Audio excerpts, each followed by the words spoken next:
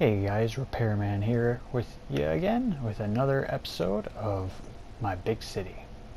So, just like we have this skyscraper Sears Tower and the bank, got a new addition to the big city, a factory. And like with all the rest of my buildings, it's go big or go home. and it's fully functional just like all my other buildings. They have purpose and stuff inside. They don't just look cool. So, sure, I show sent you guys uh, some pictures of the factory on Twitter. Now I got a few auto farms set up inside. We got a automatic cactus factory. Cactus drops down into the hoppers comes down here, goes into this chest, just turned on a moment ago, so only has a few in there. Well, eh, technically I turned off the send to storage system. So what that does is that turns on and off the hopper underneath that sucks that out and into the automatic travel system, or basically a whole bunch of hoppers that I've lined up towards the skyscraper. So once I do my automatic sorting and storage system inside the skyscraper, um, that'll all be stored inside the skyscraper. So the factory will be all making the stuff and skyscraper will store it and that's where you get it and everything. So then all I gotta do is I want to send those off on their way. Just flip that. See? Oh, off on their way they go. And I'll show you that moment. And also here I got an automatic melon and pumpkin farm. Got it double-sided, so I got quite a bit of them that uh, spawn and get dropped in these hoppers. And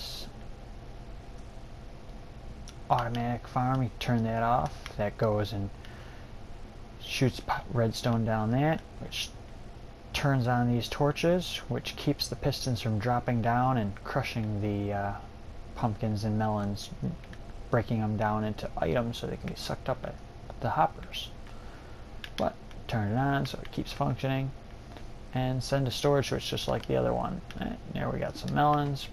Now oh, why we got pumpkins sometimes tend to spawn a little slower at times. But and we want to send those 15, send them on their way, flip that, off on their way, there you go, into my storage system, or into the traveling system. And over here, we got feather and chicken farm. So we got for eh, just toss in there four for now. Test out the system, see what's more most effective. But four in there, they spawn the eggs. Eggs go into the dispenser. Spencer pumps them out. Little baby chickens. There we got one in there. As soon as he grows up, his head will stick further into the lava and he'll start die and get sucked up by the hopper because that's a half slab. And then he, items go into the chests. Eh, looks like uh, don't have any yet. I just built this, so haven't had much time for them to spawn out. Plus they do take a while to grow up. They take 20 minutes or so to grow up. And it takes about 13 or so eggs popping out before it makes one chicken, or baby chicken, but yeah. That one's also not uh, hooked up to my dispenser system yet, and I also kind of turned it the wrong direction. I kind of OC about having stuff exactly perfect and it's not exactly perfect so I'm going to tear that down and replace it so it lines up just perfect with this. So now come down here. Here's our storage system. So cactus farm comes down, feeds over and comes down to here, goes into the system, shoots on down. Here we got slime farm now. Slime farm's another one that I have. Down here, let's come down here.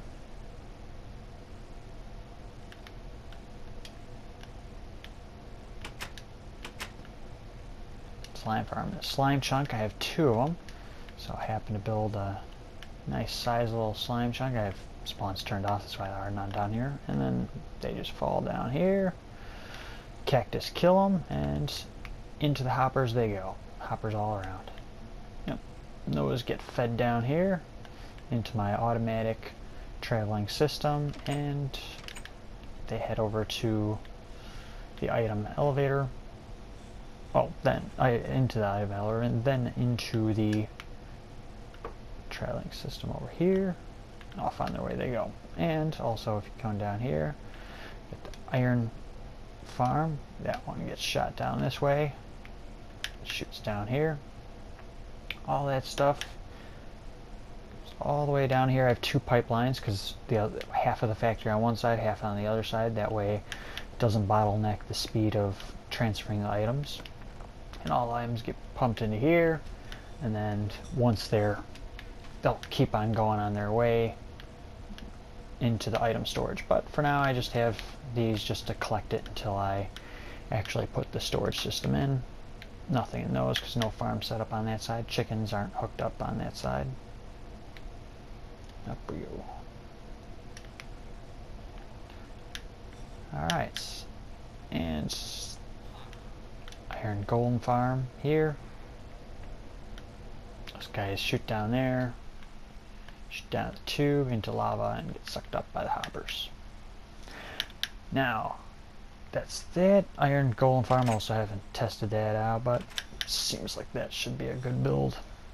Now, for my latest little contraption for a supersized factory, we need a supersized furnace. So here we have super furnace. This thing goes and sorts out all the items into one into everything and before it puts the second one in so it evenly distributes all the items and all the fuel so this side we dump the fuel so like so dump the fuel in there we'll make sure and wait to release them down until they've gotten all the way across boom and then release them down into the hoppers oh. that seems quick yeah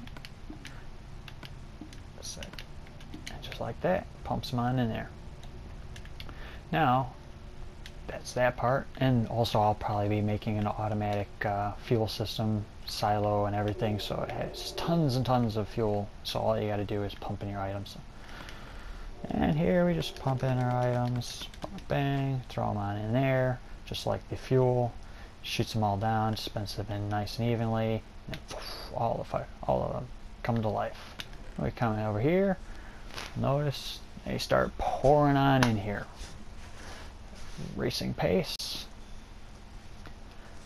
No more having to uh, drop a couple items and wait along, drop a stack or two and wait forever for them to spawn, or um, cook up. Here, cook up a full stack in relatively no time at all. Look at that. Full stack basically done. Couple still got to feed through. Got some, bam, there we go full stack done. Some iron coming through. That's that. And that's only 12 furnaces. In my final design of this, I'm going to put another set of 12 on the other side and merge them together and have a